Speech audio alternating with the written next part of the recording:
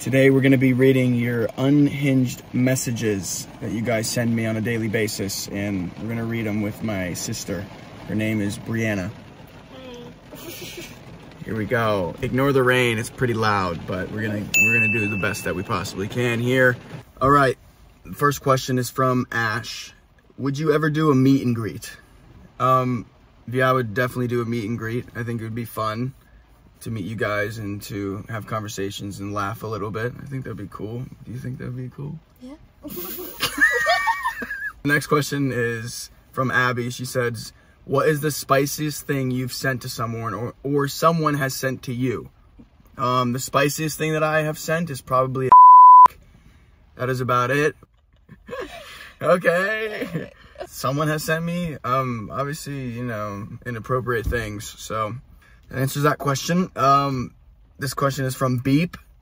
Says if you had a if you had to meet up at a table with a younger you or older you, who would you meet with and what would you ask them if it was only one question? Um, I would meet with the older me and I would ask him, um, where did I go wrong in my life? Like, what did I do, or what what could I have done differently to shift me in like the left or right path? I think that's what I would probably do. Jessica says, hardest thing you've had to endure. Oh dang, I don't even know. Probably um Going to high school. going to high school. it's like the easiest thing in the world. Um, hardest thing I've had to endure is probably um, people leaving my life and just just loss. You know, I think that's a that's it. Um, Hayden says, "What is one thing you did in your childhood that you wish you could still do now?" Honestly, I think I do everything still. Like I, I, I mean, as a kid, I was always going outside and doing a bunch of other things. I, I guess just like ride four wheelers still. That'd be fun. I used to do that a lot. But Until I mean, you killed me. all right, it didn't kill you. Almost, but I didn't. Oh, I just didn't do that. Okay. All right, Brianna's going to read them off to me. Okay. What motivated you to make music? What motivated me to make music? Um, just uh, when I was younger, I wasn't able to express my feelings easily, and I wasn't able to just speak. And I think music definitely helped me pull all those emotions out of my body, and just it was honestly a therapy to me. So that's probably why I still make music to this day, is just because it helps me mentally, clears my brain, and I just love making art. So what is one thing you're holding on to? one thing I'm holding on to, I think I'll forever hold this to myself is um my best friend Calvin. I just I don't think I can ever, you know, get rid of that. I've definitely learned to live with the fact knowing that he is not, you know, here with us. But that's about it. Yeah. And that's uh, for all those people in the world. The K stands for Calvin and then the X is like a space, and then the S is just Stutz. So it's KX Stutz. Next question. what was something you learned too late? Something that I learned too late. Who's you gotta say the say their names? Who said that? Who? What, what name was it? Ivor J. Oh, she's she's asked like four questions.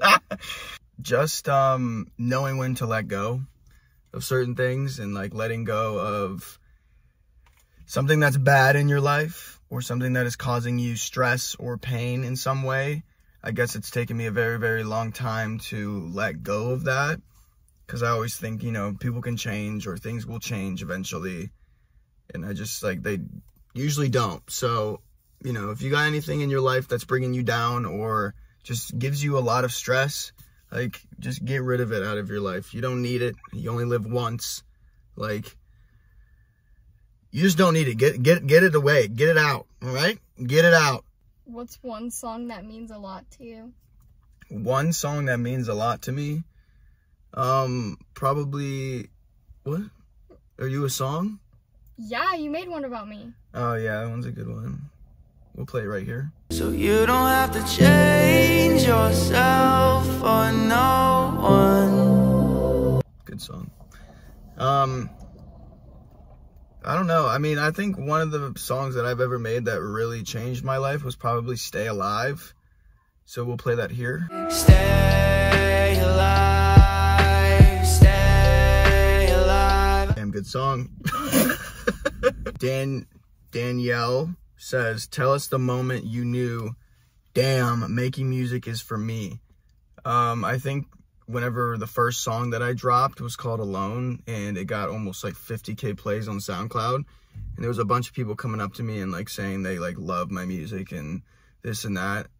And I think right there, I just kind of like knew because it felt good making music. And like obviously people's feedback is amazing. Like I enjoyed it, but I think that was when I really knew. I was like, you know what? I'm just going to take this as far as I possibly can. And I don't think I could ever stop. So, um, do I have a dog? Issa says, um, no, not anymore. My dog died last year. Her name was Shiloh and she was a wiener dog. R.I.P. Yep, RIP. And uh I do not have a dog anymore, but eventually I will get one. Um Issa asked how old am I? I am 24 years old. How are how old are you? 18. 18 years old. Do you not know my age? I know your age. What is something major that happened recently? Vinny says. Um I guess I moved from Oregon to Ohio and I drove 30 hours by myself. Life changed for me, so I guess that's like the biggest major thing that has happened in my life. Um if you could listen to any of your songs on repeat for a week straight, which one would you choose? Honestly, probably the new one that I made. It's called uh, Make Up Your Mind. Amazing song. It's dropping soon. So we're going to play that here a couple seconds. Change me, I know I need help. But you're all I ever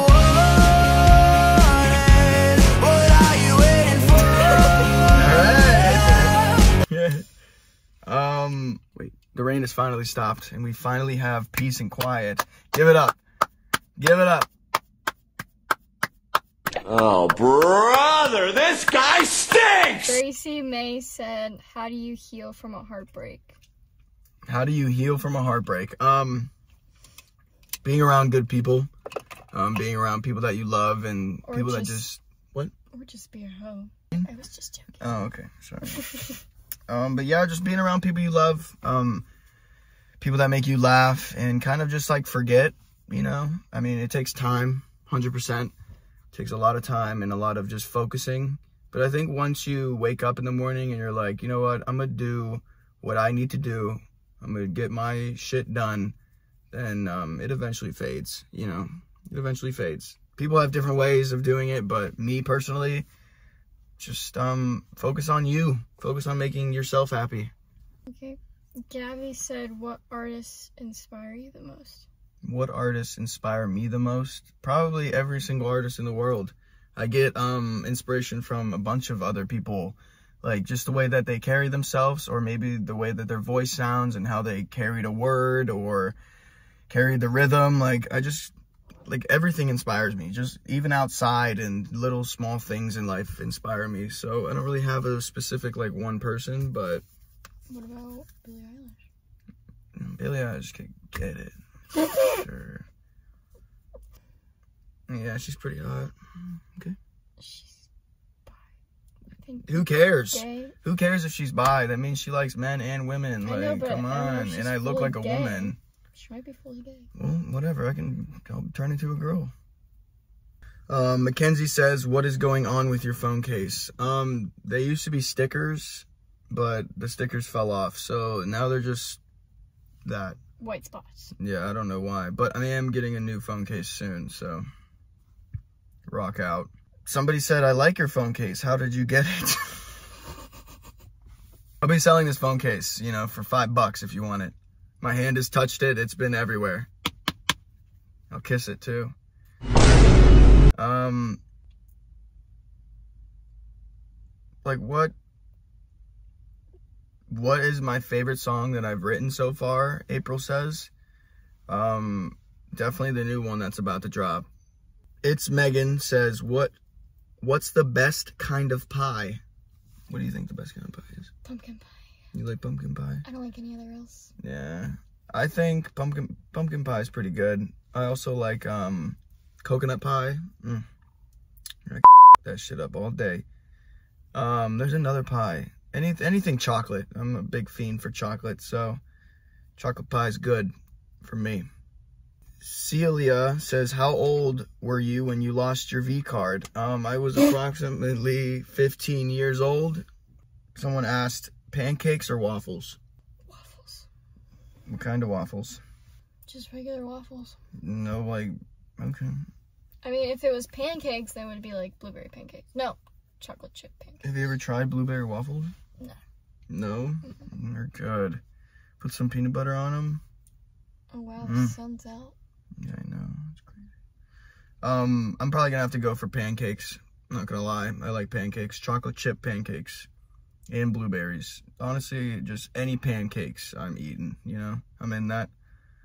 That was like half un- unhinged and half um normal questions. I was not expecting that. Um thanks for joining.